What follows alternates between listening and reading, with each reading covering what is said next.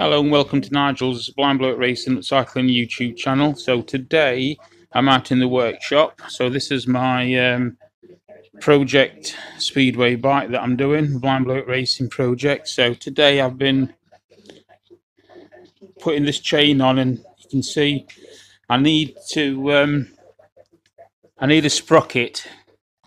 That sprocket is going to go in there and I need to um, work out how far from the center it is to their to their chain so I can measure the chain because I'm having the whole chain going right from the rear sprocket, the rear wheel down to there. So uh, that's what I've been doing today. So I hope you're all right. Um, I've got to do a, a YouTube because um, I'm over 100 subscribers now. I've got to do a um,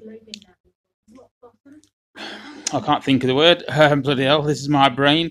Um, I, have got to do a.